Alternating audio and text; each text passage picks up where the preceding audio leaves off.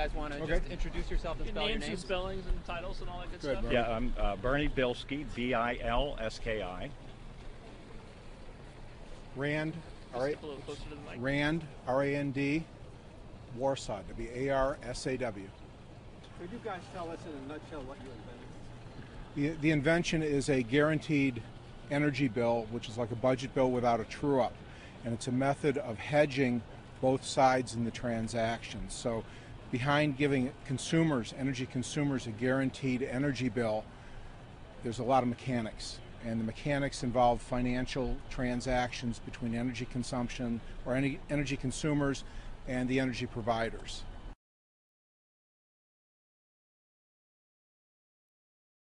And that's what the invention is in a nutshell. It's a method of generating uh, guaranteed bills for consumers and also protecting energy company earnings. The Bilski case itself is someone applied for a patent on a business method or software, and the patent office rejected it. And now this is that person suing the patent office saying, you have to grant me that patent. This case is about what does it mean to be a patentable process. And so, since software patents fall under the category of processes because they're not the machine and they're not a composition of matter, which are some of the other categories of things that are patentable, this case will define what it means to be a patentable process. What about Justice Roberts? He said, you know, basically your patent involves people picking up the phone and calling other people. It could be reduced to that level as the certain acts that are performed, but it's much more than that. It has to do with selling a commodity at a fixed price to one party, selling uh, to a different party at a different fixed price, identifying counter risk positions. If you look at claim four in the patent, we have things called claims, which describe really what the invention is. There's a long mathematical formula in there that it didn't exist in nature or, or anywhere in the literature that these very inventive folks came up with. Once upon a time, math was not patentable, and now it is. Yeah, and, and we can have somebody like Bilski coming in and saying, yes, uh, you know, I worked hard on this mathematical equation, and therefore I, sh- I should have a patent on this information processing method here. You mentioned in your claim that there's a very long calculation shown there. There Do you think a strong calculation or good math is a basis for a, so- for a patent? It can be. The basic process of, of writing software is you take a broad algorithm of some sort, so, you know, some means of doing something with abstract data, and then you, you apply variable names. So for our first derivation, let's start with just a simple matrix, uh, a matrix of values, and we'll, we'll find the mean of each column, mean mu, mu, mu1, mu2, mu3. And we're going to find, define y to be x minus x, uh, I'm sorry, x minus mu for each column. Now if we have some, some other vector x, we can take x dot s and find the projection of x onto this space. This is called a singular value decomposition. Now, here's the trick. Here's the great part. Now, let's say let's say this first row x1 equals uh, sexuality. Let's say x2 equals uh, do you own cats? And x3 equals I don't know uh, affectionateness. Okay, so now we'll also say that, that let, let, let's take a vector uh, J1 equals Jane. Jane's responses on this, uh, on this survey. Let's say J2 equals Joe's responses. Now let's do the same projection as we did before. We're going to take x dot e- we're going to take J1 dot s. We're going to take subtract that from J2 dot s. We're going to find the distance between these two points and we're going to call that compatibility.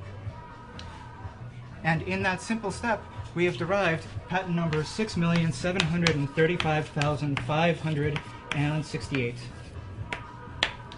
Uh, the trick, the trick of our derivation was that before, with the singular value decomposition, we had abstract numbers. What the guys at eHarmony did to get this patent was to assign names to our variables. So instead of just an abstract x1, we have sexuality. Instead of an abstract x2, we have a preference for cats. And by making those assignments, by setting variable names in this manner, they were able to take an abstract concept and turn it into a patentable device. What we want to do, uh, according to the, the, you know, the, the heads of, of our patent institutions, is take mathematics and slice it up into as many slices as possible and hand those slices out and say, well, if you do a principal component analysis, if you multiply matrices for uh, for dating sites, well, okay, you can we'll give that to eHarmony. Uh, if it's for equities, we'll give that to State Street, uh, and so on and so forth. And uh, what we're giving out is basically exclusive rights to use mathematics, to use a law of nature in whatever context. And what we're getting in return is basically nothing. The patent is a government grant in the U.S. It uh, arises out of the Constitution. The framers included the provision for granting exclusive rights to inventors in our Constitution, and the the belief was that that was important in order to reward people who had made technological advances that would benefit society. The rights that they are granted are not the rights to do the thing that they, they, they invent, but the, the right to exclude others from doing that thing. So the idea was you have a machine or a thing which is not previously described in any literature and which no skilled mechanic could figure out how to make given what is described in the literature, and for that you get a patent. The, the basis for determining what is patentable subject matter has continued to evolve over the last 200 years of our, our national existence. In 1953, the Patent Act was modified by Congress to add the words or processes to the word product in describing what could be patented.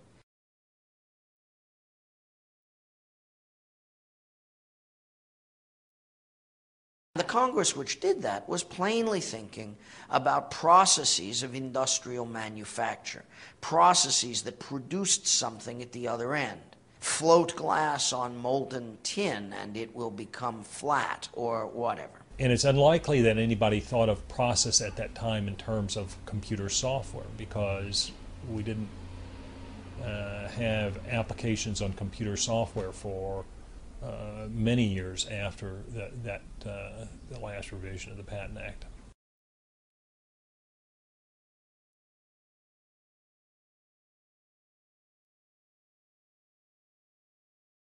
Back in the late 70s, the patent law was interpreted such that you couldn't patent software. It was considered a mathematical algorithm, a law of nature.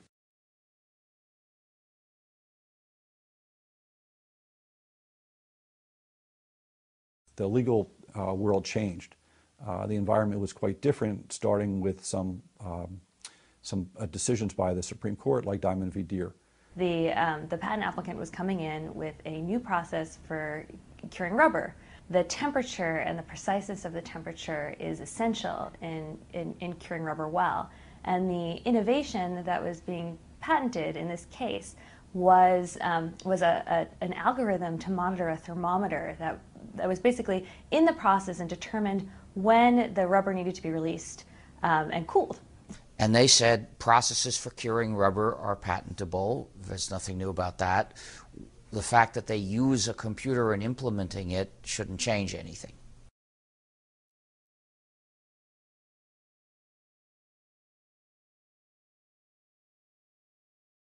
The Supreme Court makes it clear that you cannot patent software because it is only a set of instructions or an algorithm, and uh, abstract laws of nature algorithms are unpatentable in the US itself. And um, However, there is then there was the creation of the Court um, of Appeals for the Federal Circuit. The problem being solved, in some sense, begins with the fact that trial court judges always hate patent cases. And the reason the trial court judges hate patent cases is for a single trial judge, a lawyer who has spent his or her life doing litigation a patent case in which she or he is going to be required to find detailed facts about how paint is made or how computers work or how radio broadcasting operates is an opportunity just to be made into a fool.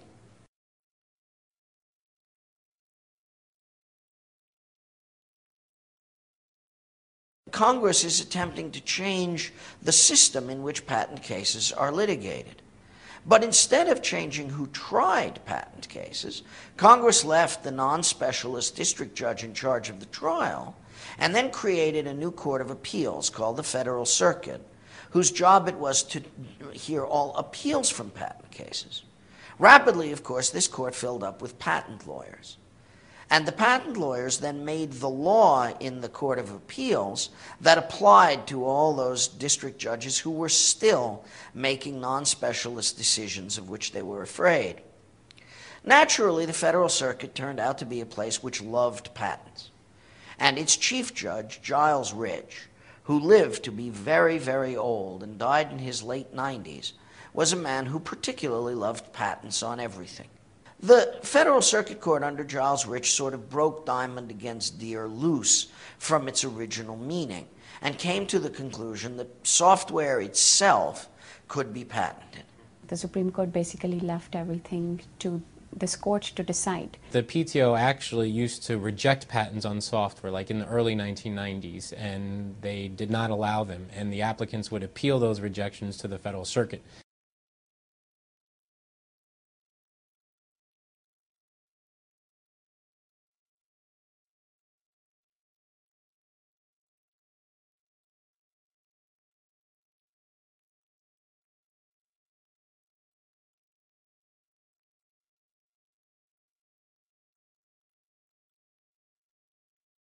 In the world of machines, you showed the patent office the machine, and you got a patent office whose claims were, I claim this machine.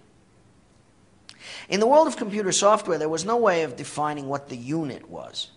I don't claim a program, I claim a technique that any number of programs doing any number of things could possibly use.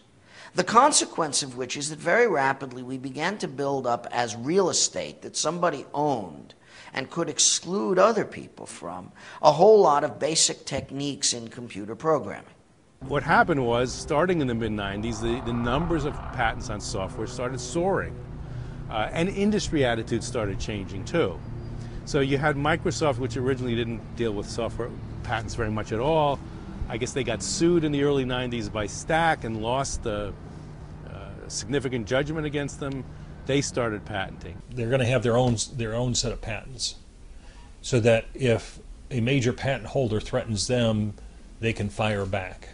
Gradually, companies like Oracle were forced to set up patent departments just for defensive reasons. They had to patent their stuff so that they had something to trade with uh, companies that had patents. And so the arsenals start to develop. And by the 2000, you know, year 2000, 2001, Microsoft now holds you know thousands of software patents. Oracle was probably approaching a thousand software patents. Adobe. You know, all of them have become more and more aggressive patenters, and some of the ones who were against software patents ended up suing other companies. And, and so you, you, what, you, what you've had is an explosion of patenting first, and then an explosion of litigation. By the late 90s, uh, about a quarter of all patents granted were software patents uh, about a third of all litigation, patent litigation, involves software patents. About 40% of the cost of litigation is attributable to software patents. And those numbers have been going up. So uh, Charles Freeny invented a, a, kiosk that goes in retail stores. Uh, and the idea is you'd come in, you could select the music selection, swipe your credit card, put in a blank nine track tape, and this is, this is how long ago this patent was uh, and it would write that music selection onto the tape, and you could go away with it. Uh, the patent was drafted in a very, you know, this very vague language, so there was, there were terms like point of sale location and information manufacturing machine, and uh,